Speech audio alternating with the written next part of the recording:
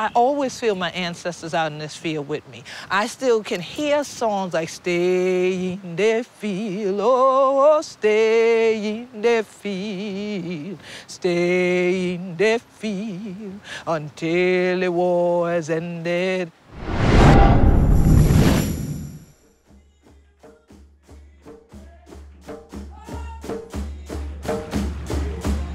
On a quiet chain of islands off the South Carolina and Georgia coast is an almost forgotten community called the Gullah or Geechee people.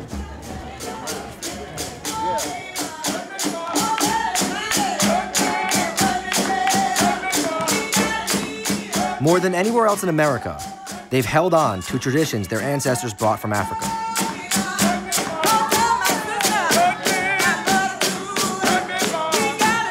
They've stayed on the isolated former plantation land where those ancestors were once enslaved and developed a culture and language known as Gullah.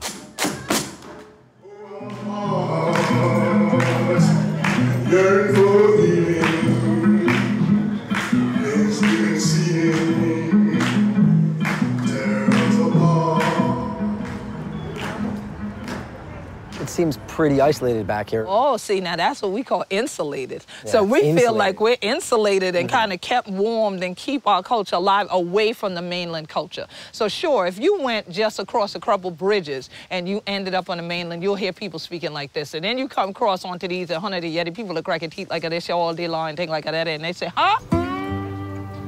Marquetta Goodwine, also known as Queen Quet, still lives on the land where her great-great-grandfather was enslaved five generations ago.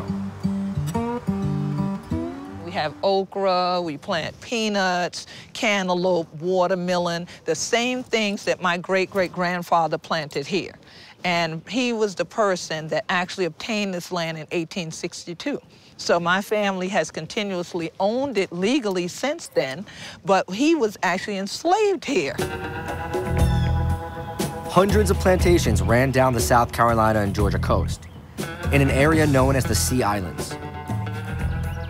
After the Civil War broke out, the islands were abandoned by the plantation owners, and thousands of people were eventually able to buy the land they were once enslaved on. But today, the landscape is changing. Folks come in with bulldozers, and the first thing we see is they want to dig up what we've already had for all these generations. And then they want to build something that's antithetical to our culture. Golf courses, resorts, and condos have replaced Gullah communities. Hilton Head Island was the first to be developed. Once home to about 300 Gullah families, the 42 square mile island is now home to 26 golf courses, brings in 2 million tourists a year, and is considered one of the top vacation destinations in the United States. Gullah burial grounds dating back to the days of slavery are now the backyards of million dollar condos in opulent gated communities that new locals fondly call plantations. That development boom is slowly spreading to other areas nearby. You can hear right now construction in the distance, yep. something else being built. Yep. One of the things that you'll notice that you'll never see outside of Gullah Geechee homes usually are signs like that, no trespassing. Well, that's part of the interesting thing is that the land that the Gullah Geechees own, it's all communally owned. Absolutely, yeah. Most people live on what is in the law called heirs property. And that's because our ancestors during the U.S. Civil War now bought property. And so Gullah Geechees became the first group of people of African descent in North America to own land in mass. Gullah landowners sought to own the land communally among their extended family. Over generations, this communally owned land was passed down to hundreds of heirs, often without legal documents like wills or clear titles. An informal shared ownership system developed, which came to be known as heirs property. Until recently, heirs property arrangements kept family properties from being sold because families depended on the land and each other.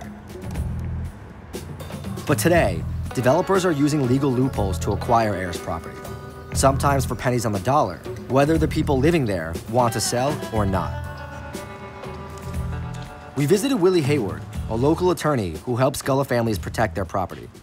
When the ancestors acquired it, this was not uh, a very desirable place to live because of the lack of air conditioning, uh, mosquitoes, uh, alligators. uh, and lack of uh, access, lack of bridges and so on and so forth, and roads.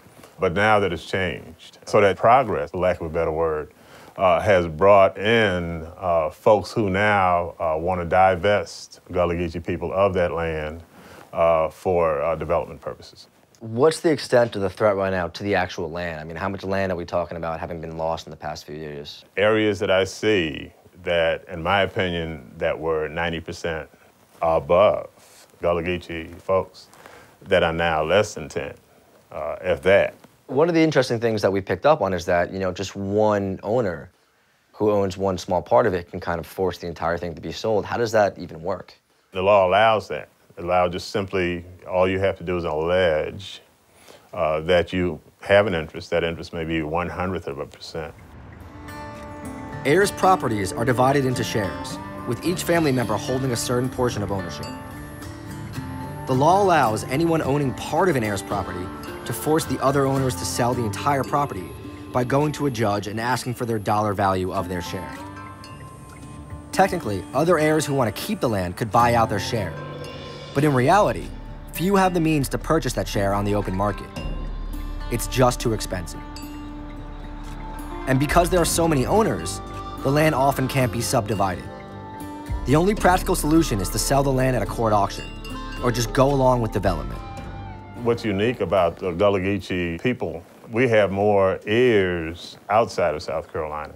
In many cases, these heirs have lost contact with South Carolina, never been to South Carolina, don't know anything about South Carolina. But uh, legally, they have an interest in that property. In the end, Gullah people are forced off the land they own to make way for resort communities they can't afford to live in. Adolph Brown is a real estate broker on Hilton Head Island. Here's um, a piece right now. As you see, there's a for sale sign. Yeah. This is all theirs. You can almost tell it by um, the mobile homes. Like you'll see, uh, you know, a bunch of mobile homes, you know, together. That's a good indication that you're on a tract of land that's heirs property. He showed us a piece of heirs property he's planning to develop. Some distant relatives who live out of state recently decided they wanted to work with Adolf to develop the land forcing the sale of the entire property and displacing relatives who live there. Some of the people don't want to sell, obvious, because they, they've lived here their whole lives. You can see there's a lot of mobile homes. So there are 19 in total that, you know, there's going to be an issue with. And so, you know, what do we do? What do they, what do, they do? Their only option would be to buy those relatives out. But they don't have the means to do so. Waterfront property here can go for $800,000 an acre. Adolf moved to Hilton Head from New York 10 years ago when he discovered he owned shares of an heir's property. Some of the work you've done, it's kind of got you a bad rep on the island right now, yeah? Yeah, yeah, it has, it has. The island, a lot of the islanders think I'm the, I'm the bad guy, I'm the, the, the, the city slicker bamboozler dude, you know what I mean? People here feel like their, their entire culture is being sold along with this property that the Gullah culture is, is basically fading away as more developers buy up these these lands through through heirs property. Right. I mean, well, do you do you understand that anger? I understand the anger, and I understand the Gullah culture. My grandmother was a midwife on Hilton Head, so almost every African American uh, that was born from in the 60s, 50s, 40s, she brought them into the world. The, the problem comes in when the world changes. My family doesn't barter with food. They go to regular jobs and have nine to fives and have gone to college and they work Fortune 500 companies now. So it's kind of, I mean, you can see the division. Like, I'm sure there are people who think of this as like, like a boon, just like they won the lottery almost. And there's others who think of it as I'm losing my way of life, I'm losing my home. Right, I'm losing. And trying to rectify those two situations. I mean, what solution can you come up with? The only solution I've ever seen is to develop it. And I give people this analogy of the American Indians that were, you know, downtown Wall Street. They had the teepees there, they had the little communities. Could you imagine today there being 20 acres that's uh, Indian reserve in Wall Street? Yeah, but that it, was, it can't happen. That was hundreds of years ago. What I'm saying is either you have to be progressive or it will, you, will, you will get run over, taxed out, moved out. It, it, eventually it will happen. Up the coast, The once quiet community of Mount Pleasant recently became the ninth fastest growing city in the country. The Phillips community, settled by former slaves of the Phillips plantation, is one of two Gullah communities left there. So we're in Phillips community right now, which is a, a Gullah community uh, right outside Charleston. And this kind of used to be a really isolated area, but now basically what you have is all these developments that have sprung up around it. So it's kind of like a donut hole. So it's only really a question of time how much longer the people here can hold out before they're either priced out or their homes are bought out from underneath them. Lawrence Palmer has spent his whole life here. When I was growing up, it was a close-knit community. If someone got a house to be built, everybody joined in and helped that person build that house. Mm, don't have to pay a dime. And time to come around to you, or the community get together and do the same thing to you. And now it seems like a lot of people are trying to get this property right here. Oh yeah, they're moving in very swiftly. And are people trying to actively get your land right now? Are they trying to buy your lands? Oh yeah, they tried to buy my property uh, several times, but I told them no, it's not for sale. When I should die, I hope that some of the family member would step up and uh, try to keep it for the future generation. This community was one big family, but now the community is far divided. Everybody is uh, more like an individual. Number one, looking out for number one. The heck was the rest. As the push to sell keeps on building, the Gullah are running out of options. If we look at the situation on Daufuskie Island right now, a lot of the native people are gone. The few pockets of, of Gullah Geechee on St. Simon is drying up like the water of California today. It's all but non-existent. How can we stop this? We don't really have a community or I, I, guess we have maybe a few neighborhoods, but not a real community, and I think we need to develop them. And that's one way to stop people from encroaching on your land. We need to meet with each other. We don't. We want to meet right after the funeral when emotions are out of control. There's a serious erosion of trust too within the black community. Mm -hmm. Without trust, we can't. We definitely can't be unified.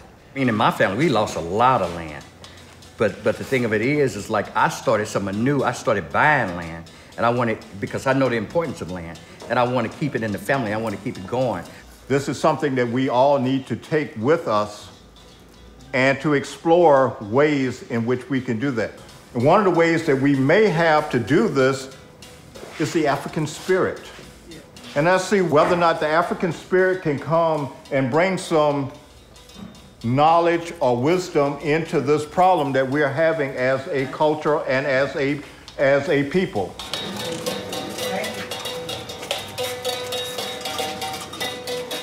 In addition to these community meetings, the Gullah turned to traditions rooted in those their ancestors brought here more than 200 years ago.